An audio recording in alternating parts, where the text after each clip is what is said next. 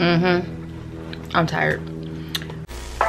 So why not take a chance? 'Cause this is our street. Just feel the love beat, yeah.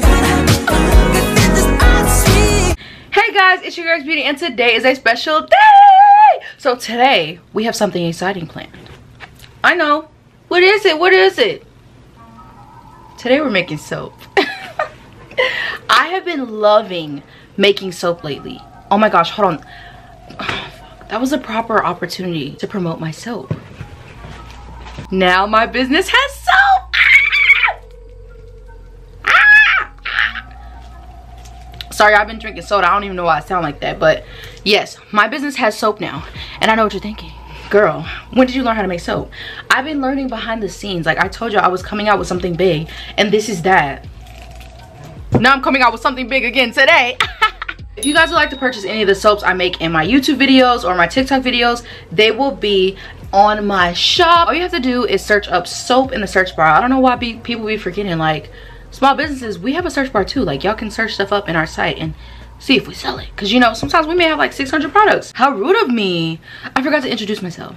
If a witch and a fairy had a baby that's me. Today we're going to be making two soaps okay? The first one is going to be black tourmaline beetlejuice soap. So this sorry i'm super super excited guys. So this first soap that i'm going to be making has crystals in it but not inside of the soap. It just has crystals on the side and i have a super cool idea that i'm going to execute. Oh my idea for the first soap i want to do like uh like layers like white and black white and black and then i want to pump green icing at the top of it put the black tourmaline crystals in it and drizzle either white icing or black icing. I don't know yet because i feel like if i do black icing it might make that crystal like not really stand out. But we'll see. For me to like just begin you know making soap and just diving into this whole industry and all of this you know all these skill sets all these skills all these skills you have to have all these techniques. So that's a pretty tricky thing we're going to do today. I was kind of procrastinating because i was like do do i want to mess it up? What if i don't get it right? What if i waste product? And i said you know what? Whatever. I'm just gonna do it. And if it turns out cool it turns out cool. If i mess up i'm just gonna keep doing it again and again until i get it right. Now the next soap is a bit more simple. It's actually a lot more simple. So we're going to be doing a pumpkin spice soap for halloween. I want to do I don't know. I want to do, I know I want to do like orange colors and fall colors. I want to have some type of mixture at the bottom of it. And then I want to pump in some orange icing. And then at the top, I want to have a couple of like subtle herbs, you know. And it's going to smell like pumpkin spice. Pumpkin spice. Fall. So, let's get into the video. The first soap I made was actually pretty easy. I made this soap before. As you guys know i have really really bad eczema. And i usually wash up with regular dove. Like i just you know experiment with the scents but i never really go outside of dove. Dove just tends to be my soap. It started with i couldn't use like like any name brand soaps. I had to use i forgot what it was called. I forgot what it was called but I had to use like some um, herbal soap. And then I my skin started to get a little thicker with the eczema to where I could take Dove sensitive skin. And then once I got older I guess it just got better and I just kept experimenting with the fragrances. And I was like you know what? Most of these soaps cause cancer. So I want to make something that's a bit more herbal and that's just more natural to the system. So the ingredients in my soap that we're going to be using today is coconut oil almond oil olive oil palm oil shea butter lye and titanium di i think it's dioxide. Hold on i don't want to get that wrong. Yes okay i got it right. Okay so basically lye is what forms the chemical reaction between the oils and the actual soap solution. Lye becomes a soap solution. It joins it making a bar of soap. So once you figure that out and get your recipe right with the percentages and the fragrances you can just go crazy with it. You can experiment with it. Now how i pipe my icing it's different like thicknesses. You have to stir the lye. Sometimes lye can get very very solid and it won't be able to move. Like you'll just waste all that product. So I, I recommend you guys doing a lot of research before you form your own recipe or ask someone who was experienced because I couldn't really ask anybody who was experienced because no one was like really open with their recipes like that. So this just has lye in it. This does not have titanium, you know, hydroxide, but it also does have all those other oils. So since you are making soap and not candles, you can put more oils, but being that I have sensitive skin, most of my bars are going to be lightly scented. It'll smell good, but it won't just infuse you in the bathroom like, cause you know, that stuff will burn my skin. So it's, it smells good, but it's like to an extent, it's like, all right now, it doesn't drag it. It doesn't drag it to where it's like chemically smell good. So this next soap bar includes titanium dioxide. Lye and the oils create the soaping bond, and this titanium dioxide here creates that white color. So you can mix it and match it with different colors, and it'll make your colors brighter and more vibrant. You know when you paint and you mix white with the paint, whatever color it is, and it makes it brighter. That's what titanium dioxide is. So those are the two chemicals that, you know, you probably may not be um, familiar with. So they can sound pretty scary, but it's not that scary. You do have to wear protection when you are dealing with them. But, hold on, my frog's on his bullshit. Okay, you do have to wear gloves and you do have to wear protection, but those are the only two chemicals that are in my soap. It's nothing that you guys don't know about, no hidden ingredients, anything like that. I'm very open with my ingredients because it's like, let's all have fun here. Like, let's, we need more handmade soap in the world. We really do because this shit is fun. This shit is fun. But I messed up. I didn't label my pans to where I could see where each bar of soap was. Now, given the fact that we're going to be making a bar of soap with crystals, I need to label where I'm going to be cutting because if I put a crystal where I cut, it messes up that whole bar of soap. I would have to pull the crystal out. I can't use the soap. It looks funny. We're not doing that. Um, and I think I got, I think I got, I think I'm two crystal shorts, but two will have no crystal and I'll just keep them and I'll use them because I love my soap. But I only got nine when I went to the crystal store. Um, but when you're making crystal soap, please do not use raw crystals. Some of those chemicals, some of those crystals cannot be wet. But when they are tumbled and shine, it's a much safer option to go with. So you can either pull your crystal out the soap or you can shower with it and then you know when the soap goes down to where the crystal pops out you can keep it and you can keep it as like a it's a free crystal in your soap bro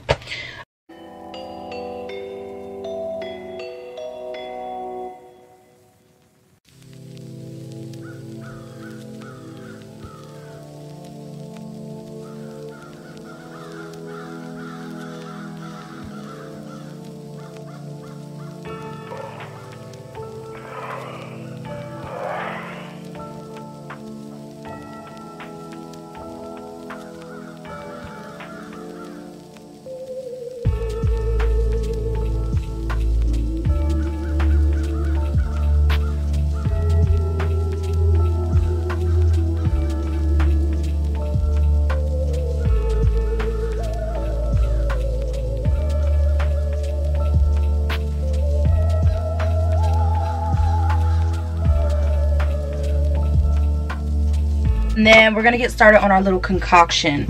Now i'm gonna do like a time lapse of me making the soap and i'm just gonna hop in when i feel like i need to show you guys something. But let's make this soap. I'm excited. I'm excited. I really am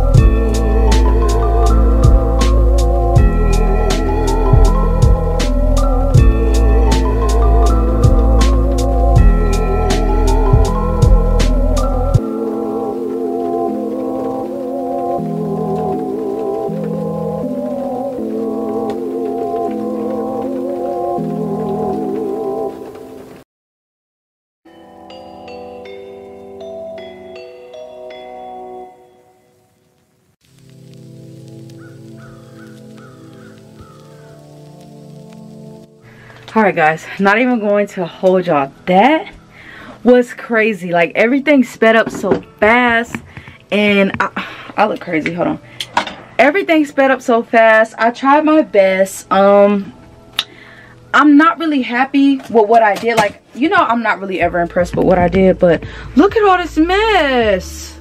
So i have to clean that up before i even start my next batch. Um i might end up doing my next batch tomorrow yeah i might end up doing it tomorrow because i need to sleep on some things what time is it let me see depending whether or not i'm gonna do it tomorrow I don't know. Where'd I put my phone? Yeah, uh, it's 7.24. So I'm going to do my next batch tomorrow morning. When I have some time to really think and figure out like where I went wrong. So it smells amazing. Um, one thing I can say is I wanted more vibrant colors. So I should have added white and then added the color. But I'm going to do that tomorrow. Because I realized that when I add white and then add the color, it makes the color way more vibrant. Um, I actually really don't know what it's to look like in the middle. Like it's to be a complete mystery okay? A complete mystery. But let me go ahead and get the bar so i can show you our product. We're, we're, it's not final product. We're not done. We still have to cut into it and all that stuff. So okay guys. So this is the bar.